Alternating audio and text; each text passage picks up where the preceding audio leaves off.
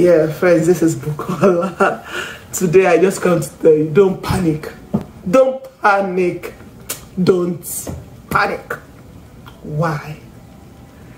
Because the word of God says so. Isaiah chapter 41, verse 8 to 10. But I'm going to try and read from verse um, 10. You know, I'm, I'm using the message Bible. So you can also use the message Bible if you choose to, but if you have another Bible, it's good. So it says, I picked you. I haven't dropped you. Don't panic. I am with you. There's no need to fear, for I am your God. Hmm. I will strengthen you. I will help you. I will hold you steady. Keep firm grip of you. That's what the word of God says. I will hold you. No, look at the God of the universe that got the whole world in his hands. He says, I will hold you. So if he's holding the word and the word is not scattered with all the nonsense the enemy is doing, and he's saying to you, don't panic. I will hold you. He's going to hold you. God can be trusted. Sit down and get a word for yourself. Get a word that speaks to your situation. I'm not talking about the one, the message the pastor preached on Sunday. It's good, but you need to get your own message. So I sit down with my Bible and I ask God to tell me what to do. So every time I'm going through situation, I just see this page, don't panic. And it tells me a whole lot that daddy has got it. And there's a place in the Bible that says, surely you are the God that walks behind the scene. The God that knows how to do things right. God knows what to do. You don't know what to do. You want to pay your rent. God knows what to do. Whatever you're believing God for, He knows what to do. Look at that wedding. I can't stop but talk about that wedding. They lacked wine. They went to the mother of Jesus. Excuse me, Mr. Gentleman. Is Mary selling wine? Thank God I didn't go for that wedding. Because I wouldn't even go to Mary. I would be looking for the next stop. Or I would just bring out my phone and be Googling where can we get wine. But they went to Mary because they had already invited Jesus and Mary to that wedding. Don't panic. That your marriage, don't panic. Invite him. And Mary said, whatever he asks you to do, just go do it. And Jesus said, go fetch water. It looks so simple. Like my, my mentor and I were discussing yesterday. He said, you know, Bukola, because the word of God looks so simple, we don't want to take it.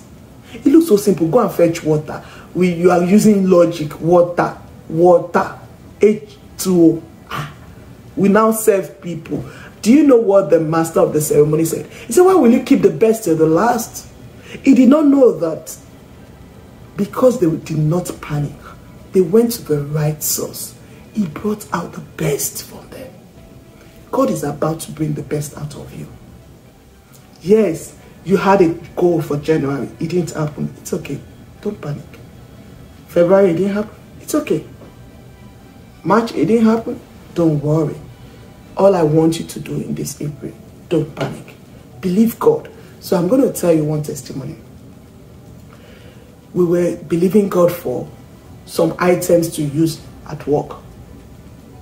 And it was becoming overwhelming for me.